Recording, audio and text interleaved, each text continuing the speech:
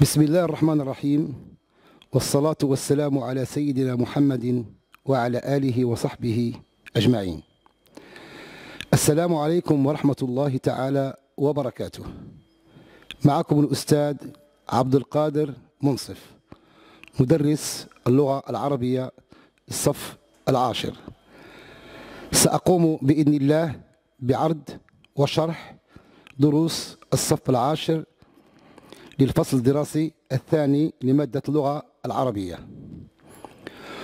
ولا يفوتني في هذا الصدد أن أنوه بما يقوم به الفاضل رئيس مجلس إدارة مجموعة تبارك الأستاذ يونس الرحبي من مجهودات لربط والعمل على استمرارية التواصل بين الطالب والمعلم.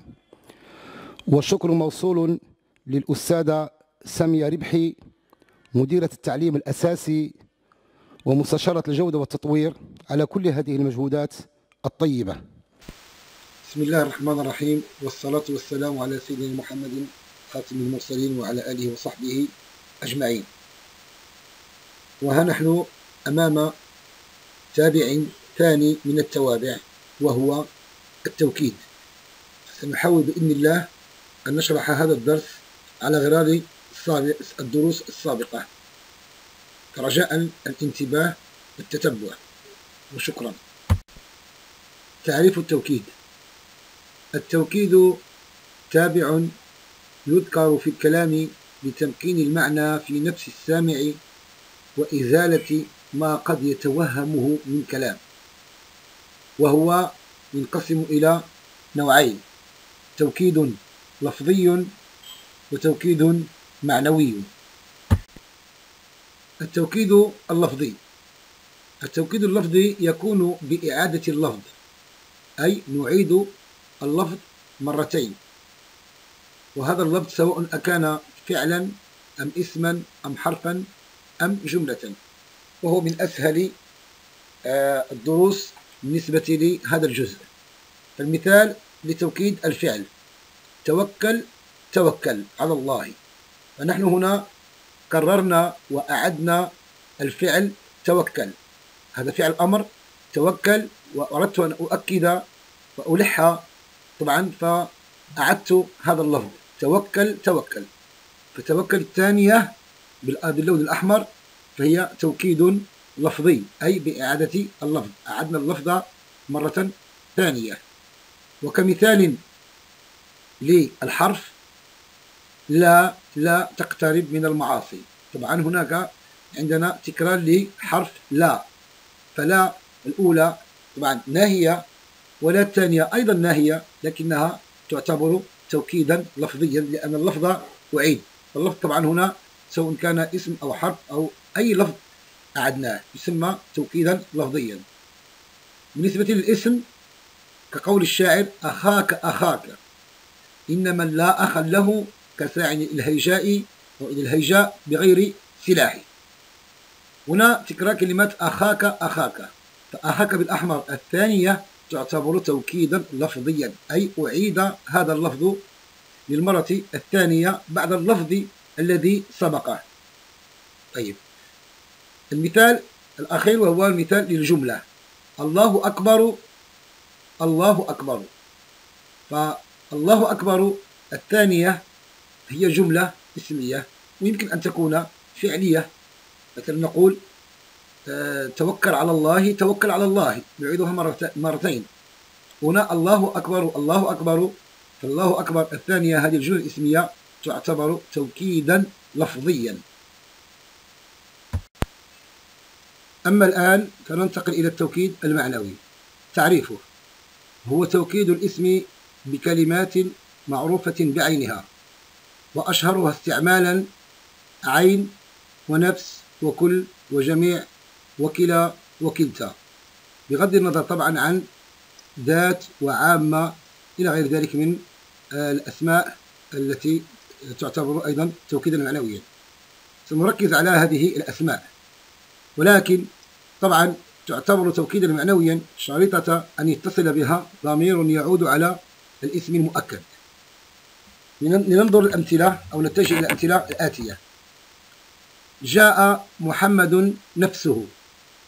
نلاحظ في هذا المثال كلمة نفسه جاءت توكيدا معنويا وهي طبعا تشتمل على ضمير يعود على محمد ويطابقه في النوع وفي العدد. فمحمد مذكر ونفسه مذكر لم نقل نفسها أو نفسها.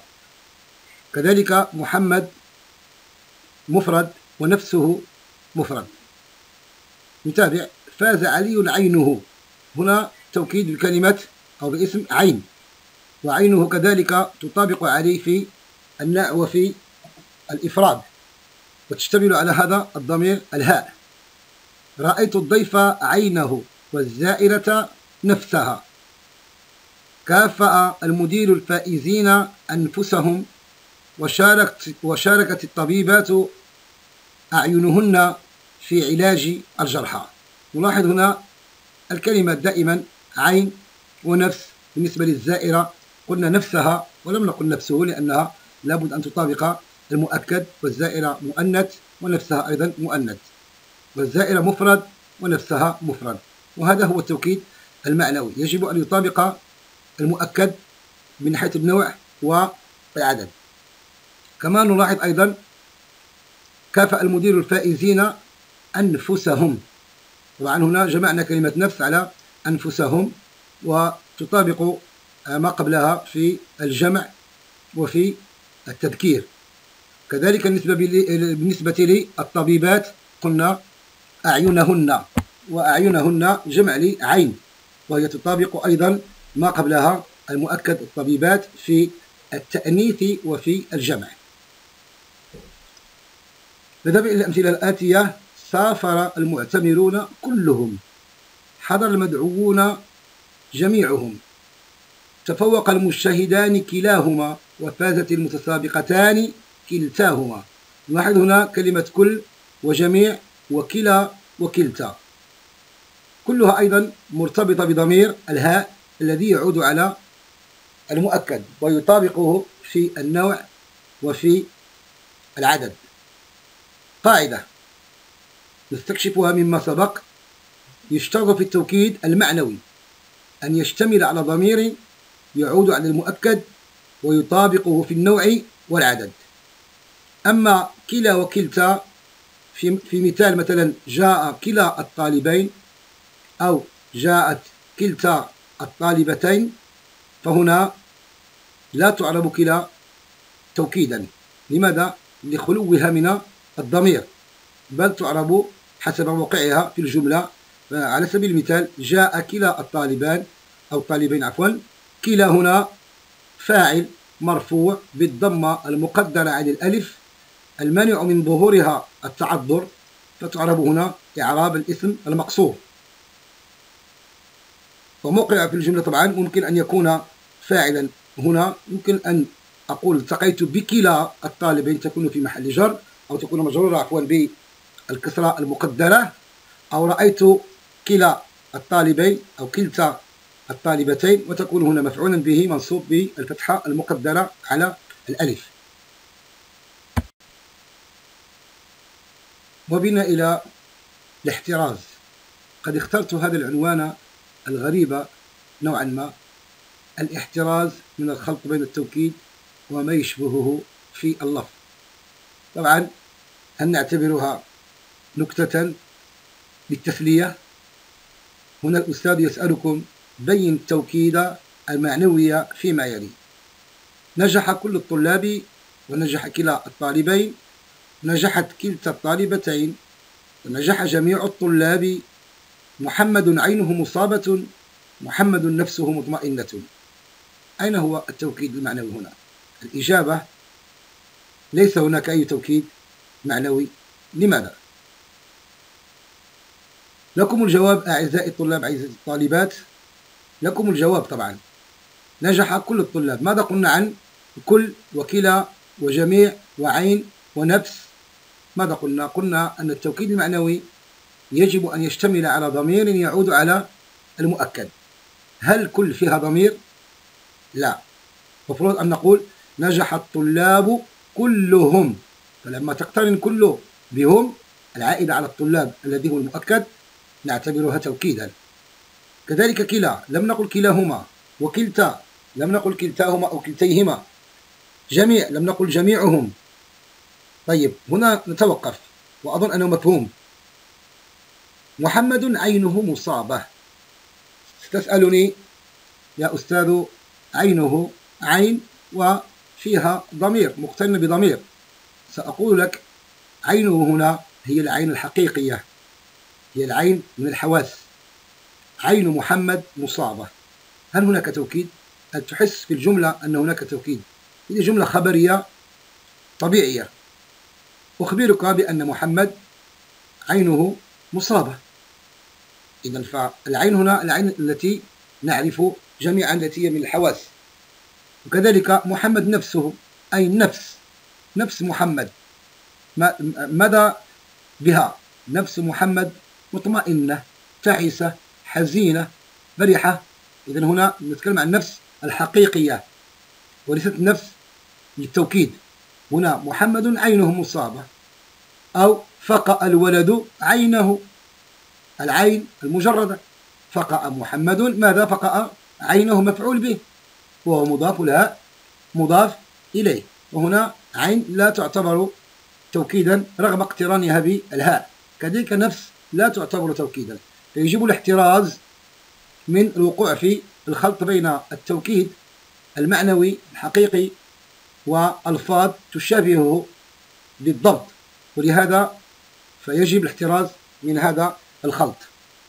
فإلى هنا ينتهي هذا الدرس وشكرا على انتباهكم وإلى اللقاء في درس مقبل بحول الله. ولكم هنا أعزائي الطلاب عزيزاتي الطالبات بعض النماذج لإعراب التوكيد. طبعا آه القدس عربية القدس عربية لعبوا لعبوا بالكرة. رأيت المعلم نفسه شارك الأعضاء كلهم. لن أتوانى في معاقبة المخالف عينه. هنا عندنا توكيد الأول لفظي والثاني أيضا لفظي والثالث معنوي بنفس والرابع معنوي بكل وآخر واحد طبعا معنوي بعين. ولكم أن تتأملوا هذه الإعرابات تحاولوا أن ترسخوها في أذهانكم. بنات الطالبات أبناء الطلاب لا تنسوا التواصل معنا عبر برنامج المودل بموقع تبارك الخاصة. والسلام عليكم ورحمة الله تعالى وبركاته. شكرا.